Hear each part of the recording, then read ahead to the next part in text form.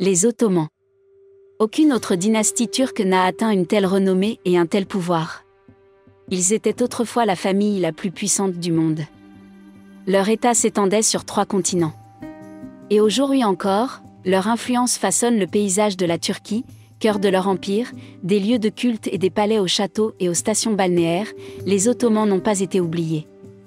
Ils ont produit des souverains puissants qui étaient honorés par leurs propres sujets et respectés avec vénération par les pays étrangers. Mais les véritables origines de la dynastie ottomane sont à peine connues. Du moins pas dans le monde occidental. Pourtant, la connaissance de la préhistoire de l'Empire ottoman est importante pour comprendre son comportement en matière de politique intérieure et étrangère. Par exemple, pour comprendre pourquoi les Ottomans ont fait preuve d'une telle ouverture d'esprit à l'égard de Byzance, ou pour savoir comment les fils et les filles d'Osman ont contrôlé toute l'Anatolie grâce aux guerres d'une part et à une politique matrimoniale astucieuse d'autre part. En définitive, cette dynastie considérait tous les autres États comme des ennemis potentiels. Car cette tribu, qui a permis l'ascension des Ottomans au rang d'empire mondial, a dû littéralement lutter pour sa survie pendant des siècles. Envie, discorde et trahison étaient à l'ordre du jour. Voici leur histoire, la tribu Cailly.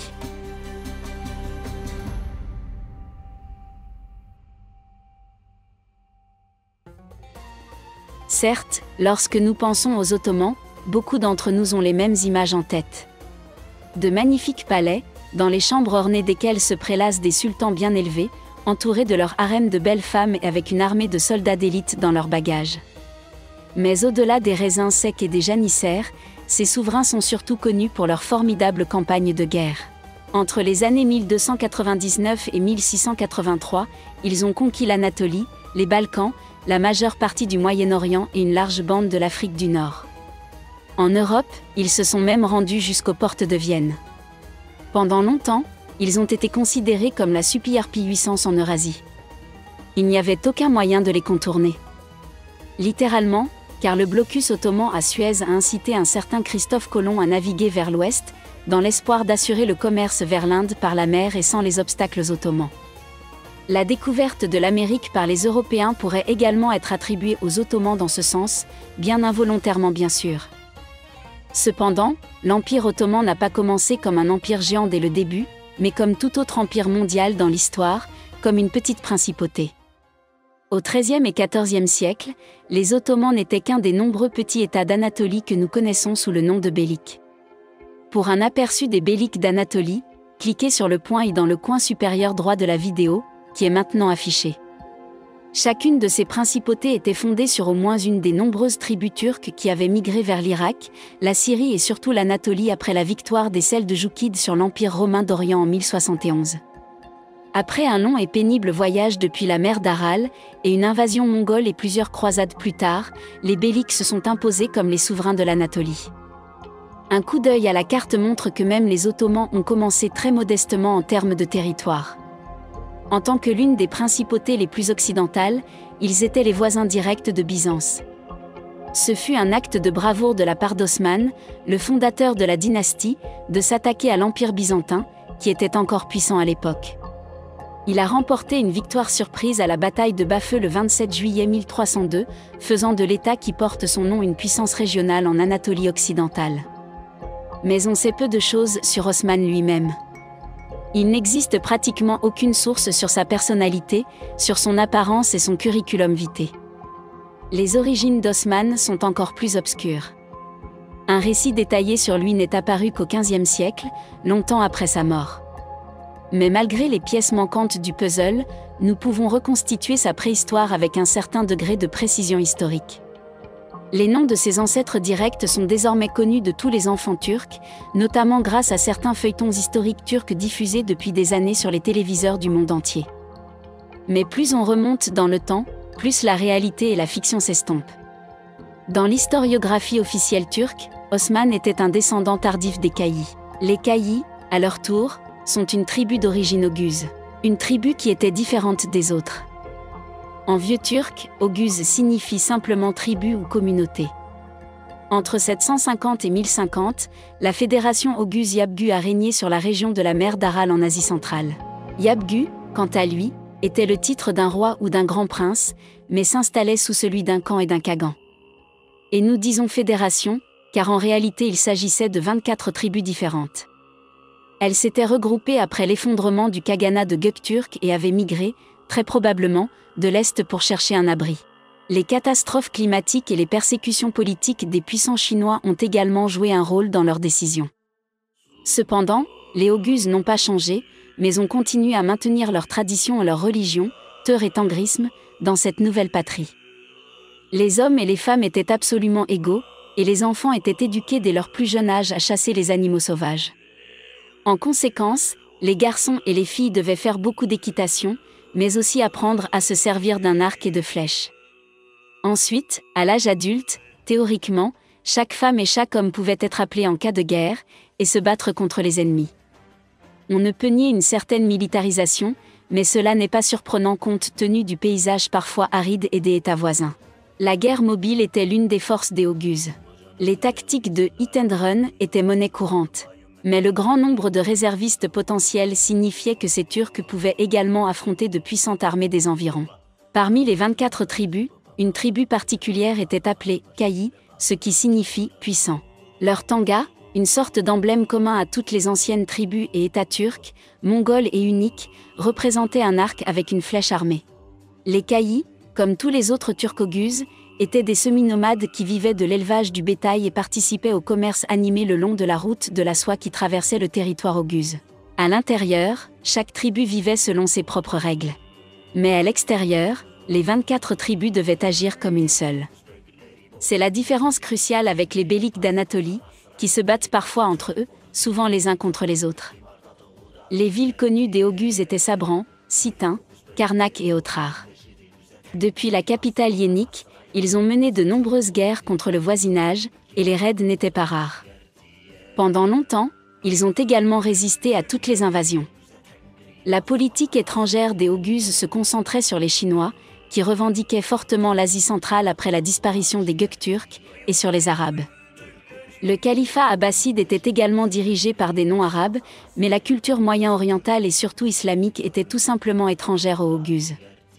À maintes reprises, les chefs de guerre abbassides attaquent la fédération, et à chaque fois, les Turcs parviennent à repousser les envahisseurs. Dans le nord, ils étaient à nouveau confrontés à des parents, nous devrions dire des cousins, d'origine turque, mais qui ne voulaient pas partager les terres ou les richesses avec les Oghuz.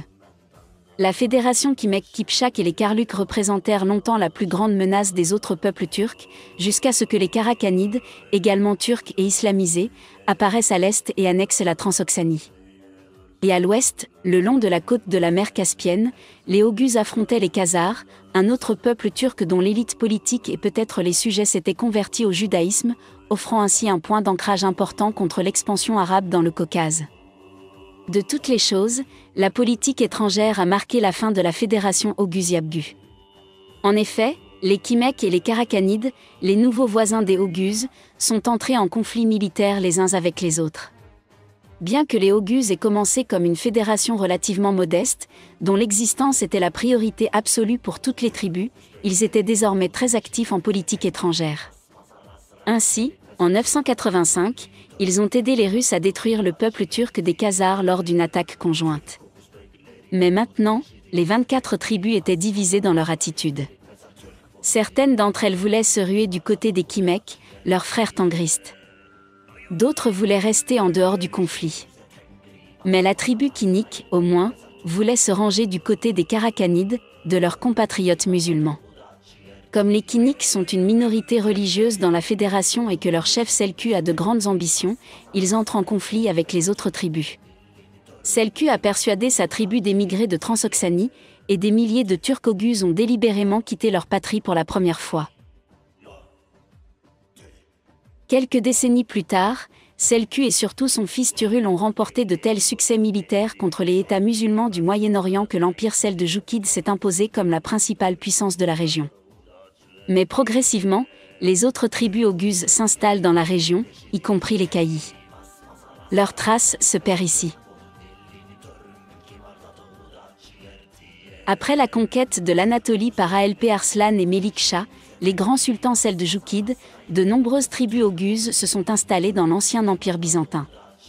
En raison des raids mongols du XIIIe siècle, même les dernières tribus ont été contraintes de quitter l'Asie centrale, l'Iran et l'Anatolie orientale, par conséquent, les premiers béliques se trouvaient également en Anatolie occidentale, coincés entre Byzance à l'ouest et les Mongols à l'est. En 1234 et 1235, les caillis s'y sont également installés. Le chef des caillis s'appelait Erturul. Jeune homme, il s'est battu avec les autres béliques contre Byzance et les Mongols. Les caillis entretiennent de bonnes relations avec les de Joukides de Rome, les successeurs des grands de Joukides, ainsi qu'avec toutes les autres principautés de la région. Petit à petit, ils ont accru leur sphère d'influence, mais toujours en tant que partenaires mineurs dans une coalition plus large. Après la bataille de Pasarieri en 1231, par exemple, les guerriers d'Erturul ont combattu aux côtés d'Aladin Kaikobad, sultan des de Joukid du Rhum, contre les Byzantins. En remerciement, Kaikobad a alors accordé à Erturul la ville de Dorilaeum, l'ancienne Esquizir. Plus tard, il a également obtenu ce gu. Cette localité est ensuite devenue la capitale de la principauté sous le fils d'Erturul, nommé Osman. Erturul a probablement vécu jusqu'à l'âge de 90 ans et a vécu pour voir son fils élever le prestige de sa famille. Mais Osman est considéré comme un dirigeant encore plus ambitieux. Il a réussi à tripler le territoire de la famille d'Erturul. D'autres villes comme Bilsik et Göynük sont incorporées à la principauté. En outre, Osman a combiné ses politiques intérieures et extérieures. La doctrine de l'Istimalais, qui garantit la protection des sujets étrangers dans son royaume, le rend populaire auprès des résidents chrétiens. Comme le bélique Germi emplit de plus en plus les colonies chrétiennes à cette époque, Osman combine sa doctrine avec ses ambitions et entreprend des actions militaires contre ses voisins. En 1324, son empire s'étendait sur quelques 18 000 km. Progressivement, il obtient la souveraineté sur les celles de Joukid du Rhum, les Mongols et les Byzantins, dont l'influence en Anatolie diminue.